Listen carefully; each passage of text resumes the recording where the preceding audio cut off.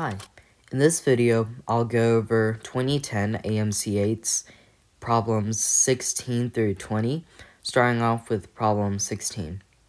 A square and a circle have the same area. What is the ratio of the side length of the square to the radius of the circle? So let's roughly sketch ourselves a circle and let's set the area of um, the radius of the circle to equal 1. Okay, so the area of a circle is pi r squared. So since we have that the radius of the circle is 1, the area equals pi. Okay, now we have that the area of the circle and the square are the same. And the area of a square is equal to side squared, or s squared. So now we can um, replace pi with a to get pi equals s squared. Solving for s, we get that s is equal to the square root of pi. And then lastly, we're asked to find the ratio of the side length of the square to the radius of the circle, which is the square root of pi over 1. Simplifying, we get that this is just the square root of pi, which is b.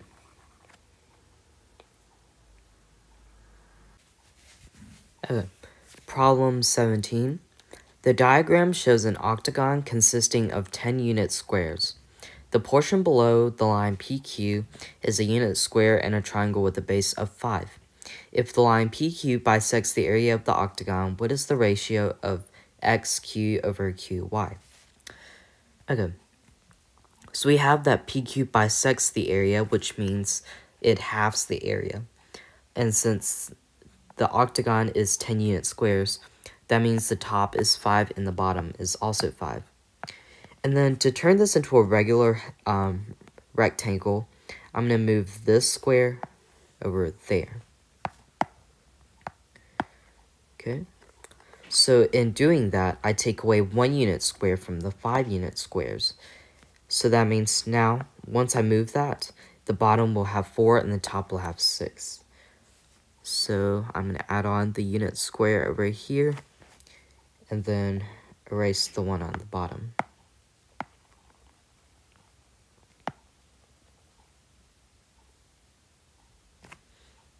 Okay, so now all we have to do is solve for the two heights, xq and qy. We have the bases equal to 5, so that means 4 is equal to 5 times the height that we want to find out divided by 2. Solving for h, 8 is equal to 5h, and h is equal to 8 fifths. Now, 8 fifths is the unit square plus qy. So that means if we want to find the length of qy, all we have to do is subtract the unit square, which is equal to 1. So 8 fifths minus 1 is equal to 3 fifths this um, qy is equal to 3 fifths. If qy is equal to 3 fifths, that means xq is equal to 2 fifths. And then we want the ratio of xq to qy, which is 2 fifths all over 3 fifths. Canceling the 5's out, we get that xq over qy is equal to 2 thirds. Our answer is D. Okay, problem 18. A decorative window is made up of a rectangle with semicircles on either end. The ratio of AD to AB is 3 to 2, and AB is 30 inches. What is the ratio of the area of the rectangle to the combined areas of the semicircles? Okay, so we're given that AD to AB is 3 to 2. And AB is 30. So we can set up a proportion to find AD. So we have that AD is equal, um, 3 halves is equal to AD over 30. Okay, so cross multiplying, we have that 2AD is equal to 90 dividing 2 from both sides, we get that AD is equal to 45. Okay, so now we can find the area of the rectangle,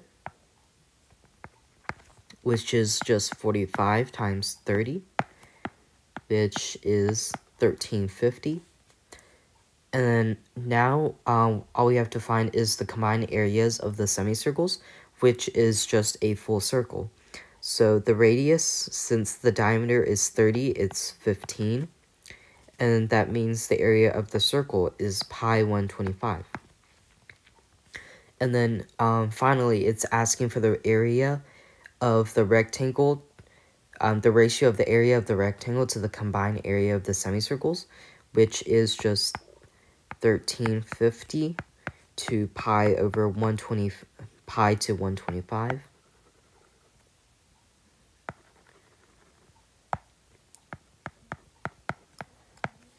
Dividing 125 from both sides, we get that the final ratio is 6 to pi. So our answer is C. Okay, problem 19.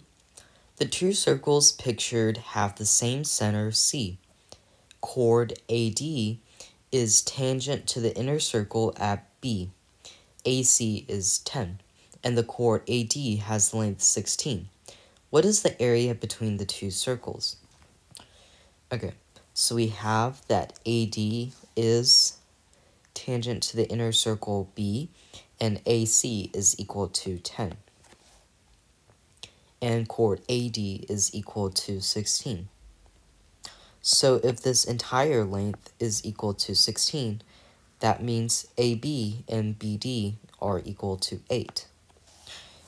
And now all we have to do is to solve for the height of the triangle. So using the Pythagorean theorem, we get that 100 is equal to 64 plus b squared, so b is equal to 6. So now we have to find the area between the two circles, which is just the larger circle subtracting the smaller circle. The larger circle has the radius of 10, so that means that it has the area of 100 pi. The smaller circle has the height of the triangle, which is 6, so it has the height of 30, um, it has the area of 36 pi. So that means the area between both circles is 64 pi. Our answer is C.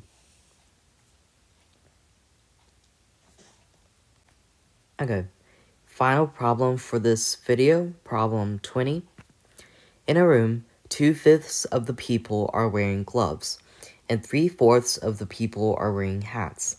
What is the minimum number of people in the room wearing both a hat and a glove? Okay, so by the wording of the problem and the question, that means that there are going to be a certain number of people that overlap, meaning they wear both a hat and a glove. So what we can do is um, we can add both of our fractions together. So 2 fifths of the people I'm going to set as P are equal to gloves. And then 3 fourths of P are wearing hats. So um, we can get a common denominator so we'll get 4 20ths p. And then we want to add these to see how many extra people we get. And then the other one is 15 20ths p. Adding these two fractions together. Oops, not 4, 8. Adding these two fractions together, we get that 23 over 20 people are total. So we see that 23 over 20, so that means we have 3 out of 20 people. So 3 of these people are now wearing both a hat plus a glove. So that means there are 3 people wearing both a hat and a glove, meaning our answer is A.